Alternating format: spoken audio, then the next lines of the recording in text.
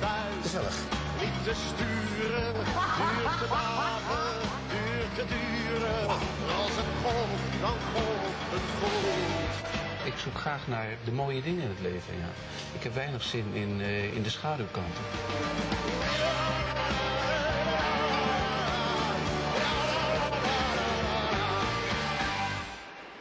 Ritmeester alias Frits Spits. Jij bent de eerste DJ die eh, kwetsbaarheid, inhoud en poëzie bracht op Radio 3. De avondspits, een eeuw lang. Wat heb ik genoten. Een eeuw lang. Nou ja, Nou voor, ja. zo voelde het. Ja. Altijd was het Ja. Mhm. er. Eh, tijd voor twee doe je nu. Ehm Ontbijt TV en ook dat nog. Ja. De natuurlijke leeftijd is 18. Ja, jij laat je nooit interviewen, maar nu wel. Tenminste niet over Nou, jezelf. Ik laat me af en toe wel interviewen. Maar niet echt persoonlijk. Nou, nee, dat heeft een bepaalde grens. Niet te veel over, over mijn familie en mijn privé, daar heb ik niet zo heel veel behoefte aan. Ja, maar ik wil wel heel graag weten wie Frits Ritmeester is. Dus mijn eerste vraag is, wat raakt jou op dit moment het meest? Waar, waar hou je je het meest mee bezig? Ehm, nou, toch wel met, eh, met de politieke ontwikkeling in de wereld. En, en eh, wat er na 11 september is gebeurd. En, en de verrassende ontwikkeling in Nederland. In de Nederlandse politiek, de opkomst van Pim Fortuyn. En ook het, eh, de verrechtsing bijvoorbeeld in Frankrijk en in Italië. Dat, dat houdt mij wel bezig. Ja. Stemt het je waakzaam? Ja. ja, maar ik vind dat je altijd waakzaam moet zijn. Ja. Want het is nooit...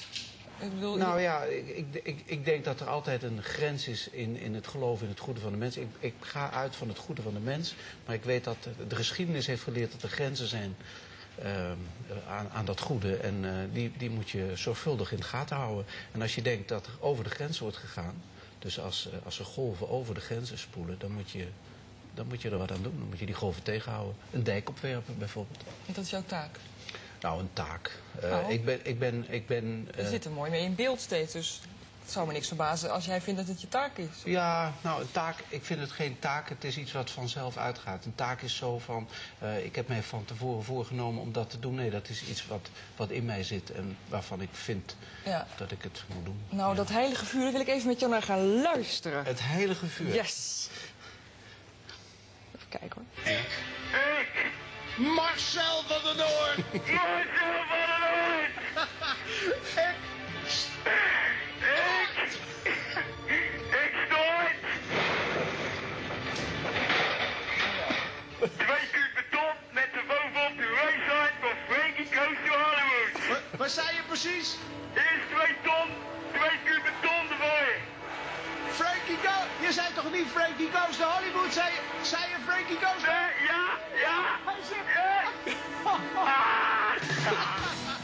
Ja.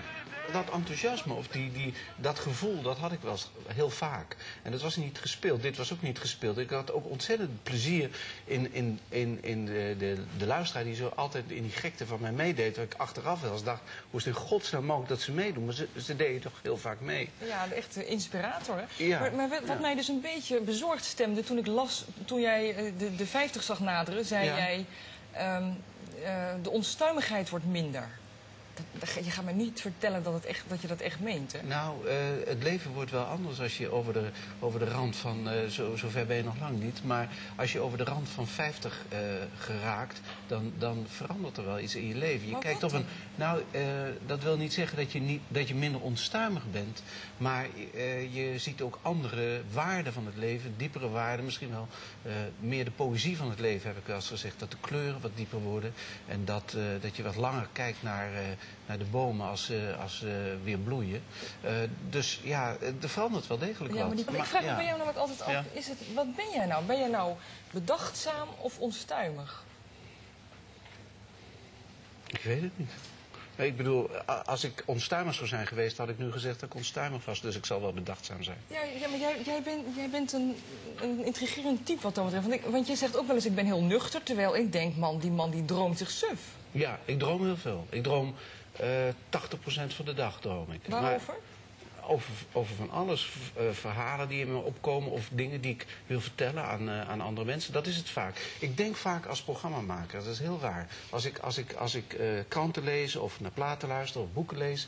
dan eh, zoek ik altijd weer naar een vertaling in een programma. Omdat ik programmamaker ben. Als ik iets ben, dan ben ik dat vooral. En, en dus alles staat in dienst daarvan. En daar ben ik bijna de hele dag eh, wel mee bezig. Maar jij droomt ook privé. Je hebt, je hebt gedroomd over een millennium Ja, over het millennium. Ja, oh ja, maar dat was, dat was, dat was een mooie droom. Ik dacht, eh, als wij 2000 eh, eh, eh, voorbij gaan, dan wordt het beter in de wereld. Ik denk, wij, wij kunnen... Ik had zo'n zo'n visioen van als ik op de grens sta van, van 2000, ik kijk achterom en dan zie ik die slagvelden en al die afschuwelijke oorlogen die achter ons liggen. En eh, al die mensen die elkaar naar het leven hebben gestaan. Eh, laten we nu met de blik vooruit eens kijken naar een andere wereld. En ik zag het als een soort blank sneeuwtapijt, dat weet ik nog wel. Waar je dan heel voorzichtig je eerste voetstappen mocht, eh, eh, mocht eh, afdrukken. Maar het is een beetje anders, het gaat anders. Ik wist ook wel dat het naïef was. En ik wist ook wel dat ik me vergiste.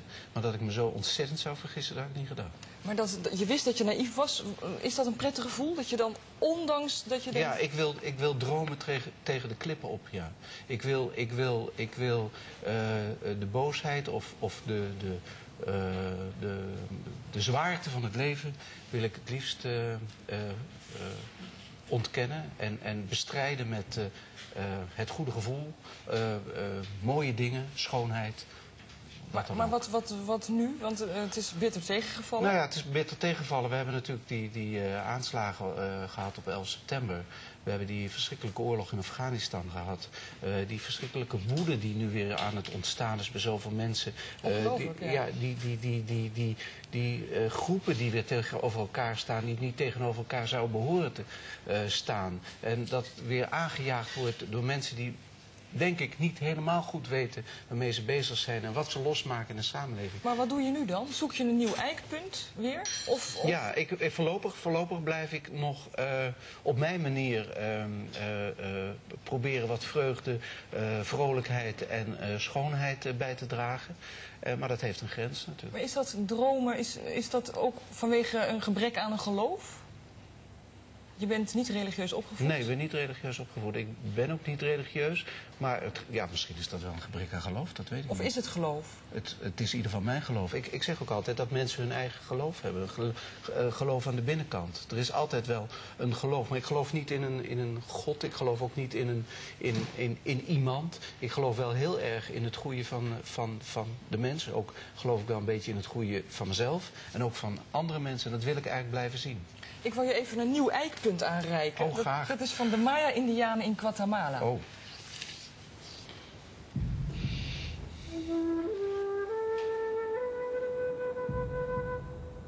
De langste cyclus van de Maya-kalender duurt 5200 jaar.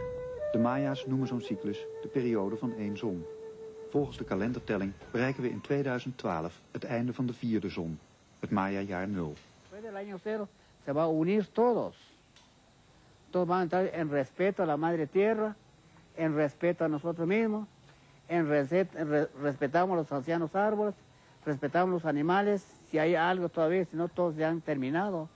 En todo esto, ¿verdad? Ese sería un campo de armonía o crear nuevas ideas de vivir en- armónicamente entre nosotros mismos y con la madre tierra y a nuestro creador. ¿Por qué viene usted conmigo?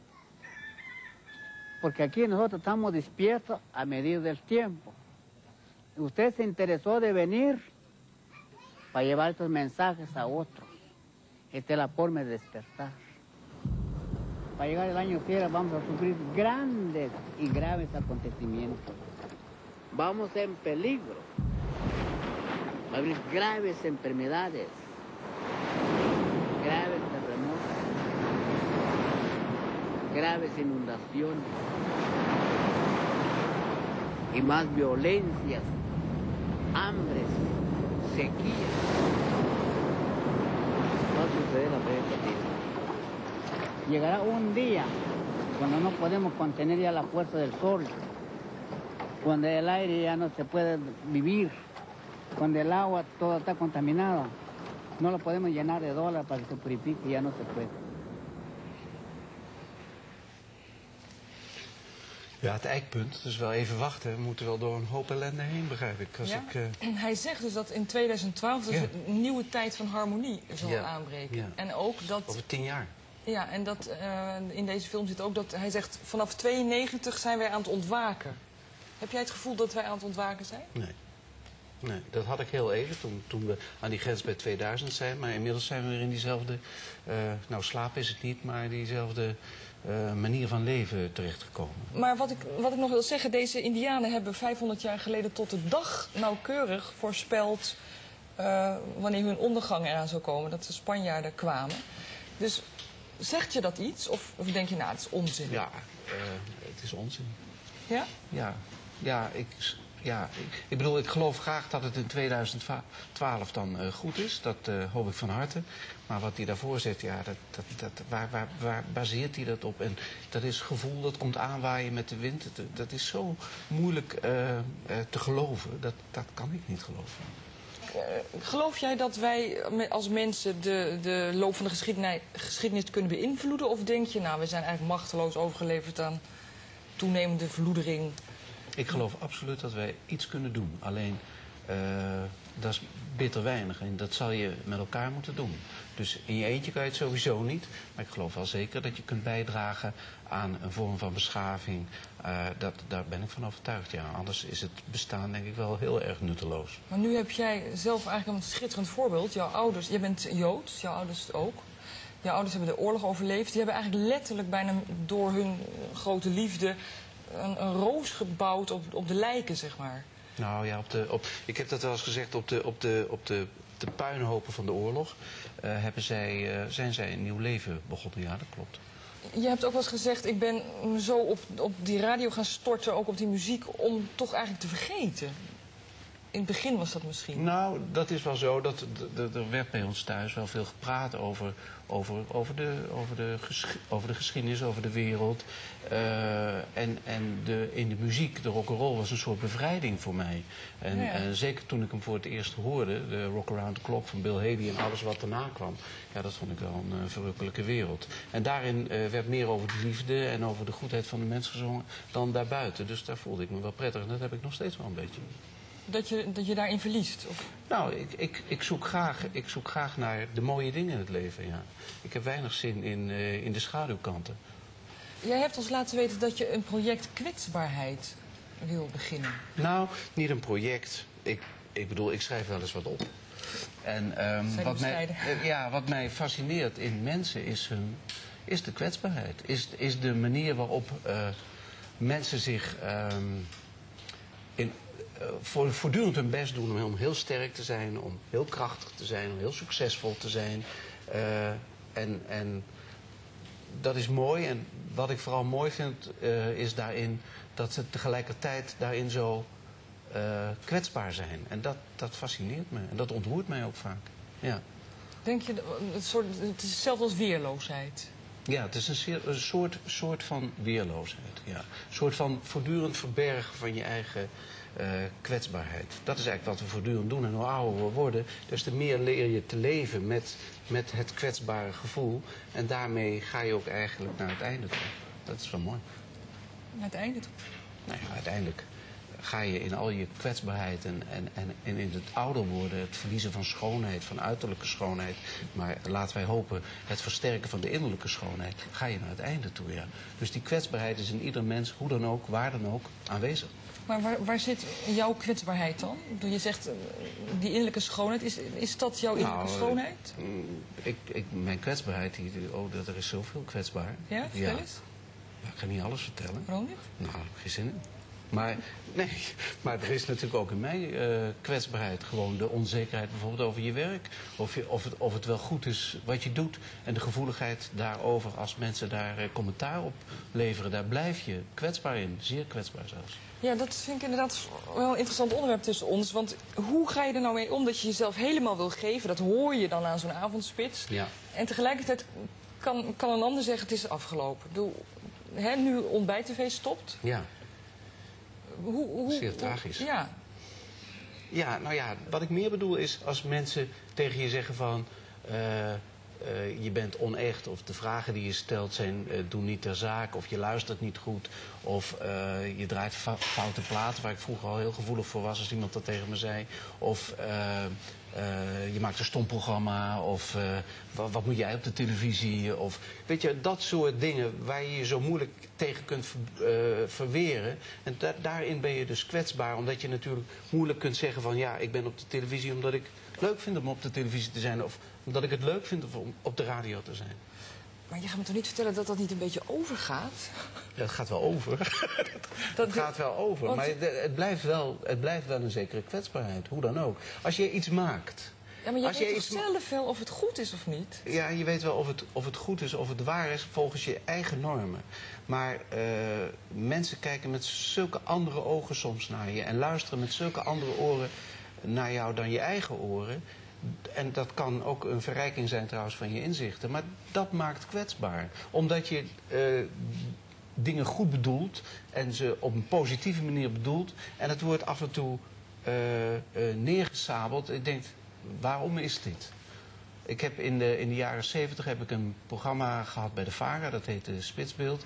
En dat werd in een muziekkrant Oor werd het echt eh, met, met de grond gelijk gemaakt. Nou, dat heeft mij diep geraakt. Toen was ik net bij de radio, dan ben je er natuurlijk nog niet aan gewend. Maar ik zou het nog steeds niet leuk vinden als er op die manier nu over mijn werk zou worden gesproken. Dat is niet leuk. Niemand kan mij vertellen dat hij dat leuk vindt of dat hij daar ongevoelig voor is. Zeker niet als daar een stukje, als er zoveel van jezelf in dat werk zit. Ik wil je even een hele bijzondere man laten zien.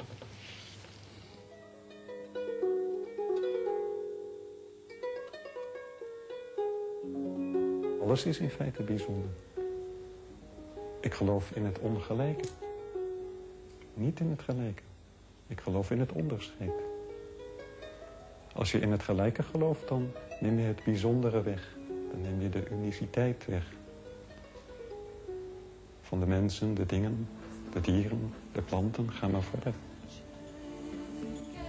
Voor de wereld ben ik aan alle kanten mislukt, inderdaad. En al- als ik met de ogen der wereld kijk, ben ik volkomen mislukt. Inderdaad. Wat kan de wereld eh, met mij doen? Maar, maar eh, God heeft in mijn, mijn onvolkomenheid mij troost geschonken. Heeft mij vingeren gegeven om mij te troosten. Ik weet dat God dat lief heeft. Dat weet ik. Dat is mijn glashelder. Dat kan niemand uit mij bannen. Dat is mijn glashelder.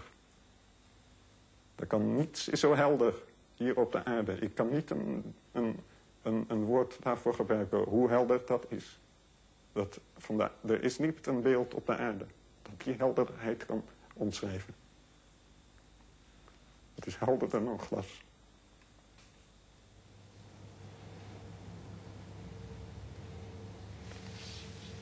Wat vind je van deze man? Ja, dat, dat, hij, dat, hij, eh, eh, dat hij zegt dat er verschillen zijn en dat die er moeten zijn, ja, daar ben ik het. eh, Maar vind jij hem zwak of sterk? Ik vind hem wel sterk, want hij kiest voor zichzelf. En hij kiest voor, de, voor, zijn, eigen, voor, zijn, eh, voor zijn eigen manier van leven. Dat vind ik heel sterk. En dat zou ik iedereen gunnen. Ja. Deze man blaast mij echt voor mijn sokken. En dat deed jij ook eh, uit dat ding. Door de manier waarop hij dat zegt. Ja, die, die, die, die dat totaal met jezelf samenvallen en, en daar dus ook zo kwetsbaar in zijn. Ja, Dat authentieke. En ik heb het, en dat is misschien raar dat ik het zeg, maar ik heb soms het gevoel dat jij je, naarmate je ouder wordt, meer verschilt juist. ja. Ja. Nee, dat is niet zo. Nee? Nee, geloof ik juist niet. Ik geloof dat ik, ik, geloof dat ik me juist veel veelzijdiger toon. Kijk, in de avondspits, dat was een stukje van me. Dat is eh, eh, Frits op een feestje. En eh, nou ontmoet je me ook op een, op een, eh, op een, op een avond waar eh, zwaar geboond wordt over de politiek. Of over eh, literatuur of over poëzie of wat dan ook. Dus dat is, dat is breder. Dat, was een heel klein dat is een heel klein stukje van mij. Maar dat is wel een heel wezenlijk stukje van mij. Maar de- het is al jaren zo dat je heel graag een boekenprogramma zou willen. Hè? Ja. Van mooie boeken die niet voorbij gaan. Ja. Er is geen boekenprogramma, dat denk Ja, ik. Michael Zeeman. Ja, oké, maar dan denk ik eh, van oude boeken de dingen die niet doorgaan. Ik bedoel, wanneer Ja, komt dat nou? Dat is dan, ja, ja. Nou, en, en omdat ehm, in, in het huidige tijdsgevricht en gegeven de, ehm, de kijkcijfermanie en, en de, de hele, de hele manier waarop eh, televisie in elkaar zit op het ogenblik. Ja, is dat volgens mij zo'n idee eh, kansloos. Weet je dat Martin Ros op de radio 300.000 luisteraars heeft als hij het woord boek ben, noemt? Ik ben er één van, ja. Op zaterdagmorgen. Maar wat, jij, wat hij doet, kan jij toch ook wel? En dan op televisie? Nou, Waar wacht je op? eh, nou ik, ik weet niet. Ja, ik zou, ik zou niet alleen een programma over boeken willen maken. Nee, maar bijvoorbeeld? Maar een, een, een, een, eh, programma over boeken, muziek, over misschien wel nieuwe dingen. Ik heb, ik heb toevallig eh, nog niet zo lang geleden voor mezelf een soort format geschreven voor zo'n programma. Eh, toen ik even niks te doen had. Komt niet vaak voor, Nee, dat maar dat waar. is wel leuk om daar mee bezig te zijn. En dat gaat dan inderdaad over vooral eh, nieuwe, nieuwe dingen, nieuwe elementen in onze samenleving. Dat- Ik geloof dat dat het meest boeit. En dat zijn vaak boeken, nieuwe films, nieuwe, nieuwe platen. Natuurlijk, muziek niet te vergeten. Als klein jongetje wilde ik al bij de radio. En dat wilde ik heel erg graag. Dat wilde ik echt met alles wat in me was. Eh, toen ik voor het eerst stemmetjes, stemmen hoorde op dat ding, eh, denk ik, dat wil ik ook. Dat is me gelukt en daar heb ik nog steeds heel erg veel plezier in. Toen, eh, toen ik dacht van ik ben uitgekeken bij de radio, heb ik geprobeerd om televisie te doen. In eerste instantie is dat niet zo goed gegaan. Ja. Daar heb ik een behoorlijke terugslag van gehad. Dus Daarna ben ik weer. in? Nou ja, dek je in. Ik- vind het helemaal, helemaal niet erg als iemand zijn eigen beperkingen ligt. Nee, maar het is, maar het is, En- het is en- ook moreel niet erg. Nee, alleen het maar- heeft ook iets smartelijks. Nee, maar het heeft niks. Maar ben je do- Ja, maar kijk, ik zeg net tegen jou voor de uitzending... wat heeft jouw moeder toch een prachtig boek geschreven? Dit gaat onder andere over de oorlog. Ja. Wat, wat herken Dus ik die stijl? En dan zeg je, ja, maar ik kan niet schrijven. Terwijl je, je kan, Nou, jij wil wel schrijven. Ik wil wel schrijven. Ik, ik, maar zoals mijn moeder, want dat is. Dat is, eh, ja, dat is ik bewaar zelfs de ansichtkaarten die ze me schrijft. Zo mooi schrijft ze. Ja, d- d- er is een verschil tussen schrijven en heel goed schrijven. Hè? En ehm, ik heb. Toch is dat jouw droom stiekem. Dat je, je zou het liefst toch, als schrijver eindigen. Heb je je la- laten ontvallen. Nou, ik wil wel heel graag schrijven. Maar ehm, daar ben je wel heel voorzichtig mee. Omdat ook daarin, eh, daarin dat, is, dat is zo van jezelf. Voordat je daarmee naar buiten komt, eh, moet je wel heel zeker weten dat je dat wil. En voorlopig ben ik nog niet zover dat ik dat wil. In hoeverre speelt bij jou nou nog de oude eh, Joodse angst mee van laat ik me niet te veel onderscheiden, niet te veel wind vangen, want anders je weet maar nooit hoe het afloopt. Het is toch een oude ingebakken angst bij veel mensen. Heb jij die ook? Ik, ik, ik denk wel dat ik die heb, ja. ja. ja. Omdat je, om, om, eh, omdat je toch, omdat je toch weet dat, dat er een soort van eh, eh, ja, vooroordelen hebben geleefd in de wereld die jij gelukkig niet hebt meegemaakt. En ehm, ja, dat, dat, daar wil je eigenlijk niets meer mee te maken hebben. Dus je wil de blik naar voren. Dus eh, je zoekt het niet op. Ik zoek het niet op, nee, dat klopt wel. Wordt die angst trouwens nu groter, nu er zoveel nee, nee. Ik word, alleen maar minder, ik word alleen maar minder bang. En hoe uitzicht dat?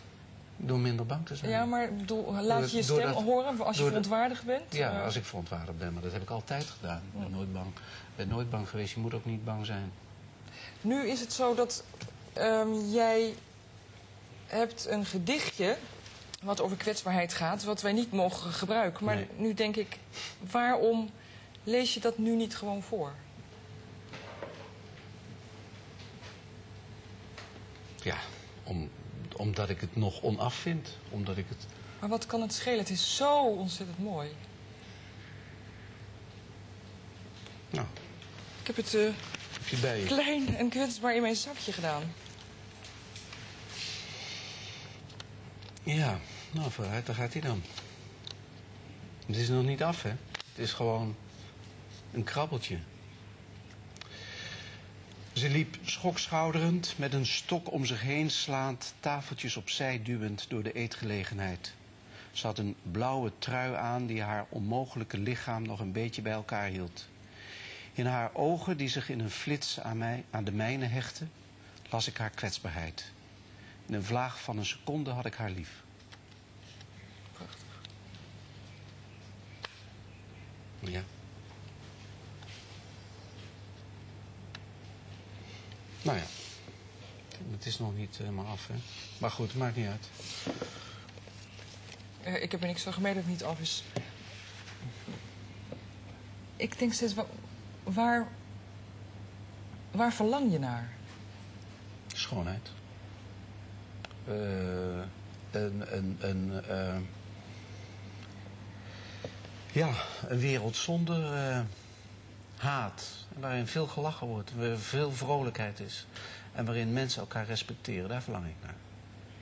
En wat is in die zin de zin van jouw leven? Om daaraan bij te dragen. En doe je genoeg?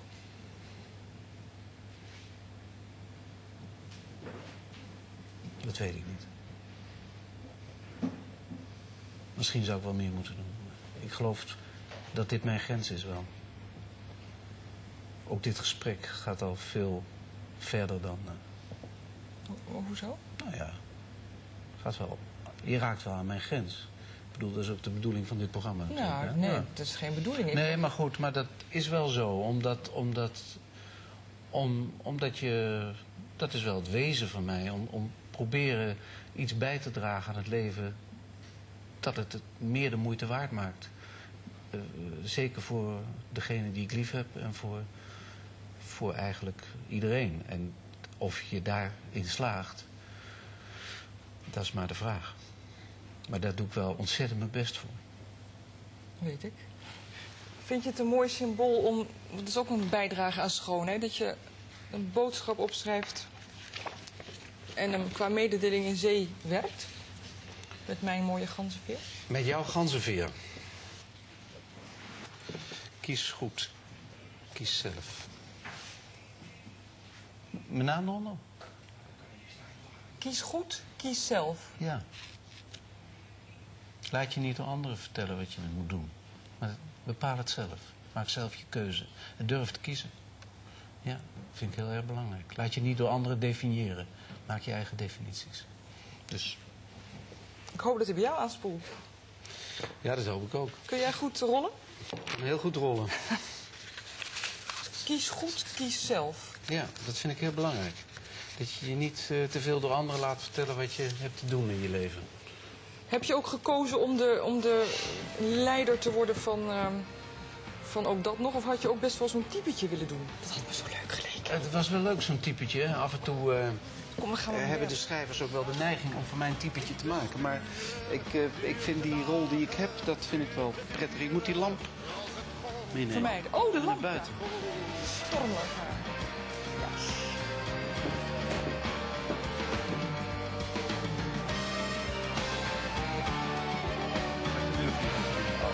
Dankjewel. Hè? Yes.